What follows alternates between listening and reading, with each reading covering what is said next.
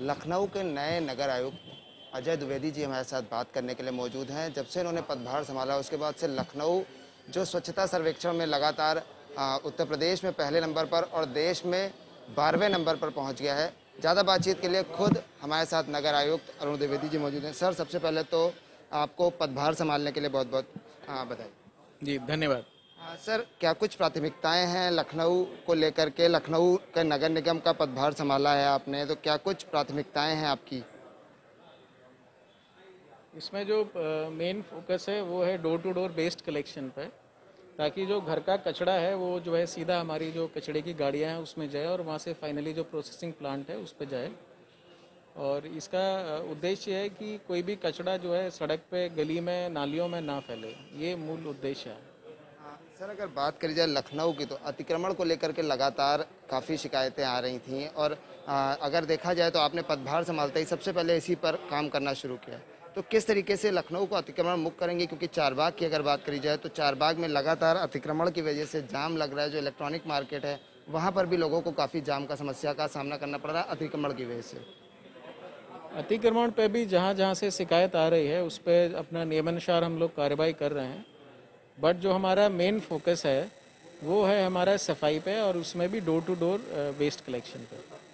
Sir, बात करी जाए कोरोना को लेकर के, कोरोना महामारी से पूरा विश्व के साथ साथ पूरा देश परेशान है, उत्तर प्रदेश में भी लगातार केसेस बढ़ते चले जा रहे हैं। लखनऊ में लोगों की समस्या ये आ रही है, लोगों का साफ़ तौर पर यही कहना है कि जो सैनिटाइजेशन का कार्य नगर निगम को करना चाहिए, उस तरीके से नहीं हो रहा जो वीवीआईपी एरियाज़ हैं या जो विधायक के संबंधी हैं, उनके यहाँ पर सैनिटाइजेशन सिर्फ़ हो रहा है, उस पर कहते कहें इसमें सभी हमारे जो 2000 कंटेनमेंट जोन है, इसमें रेगुलरली जो है सैनिटाइजेशन का कार्य किया जा रहा है और इसमें इस तरीके का कोई वो नहीं है।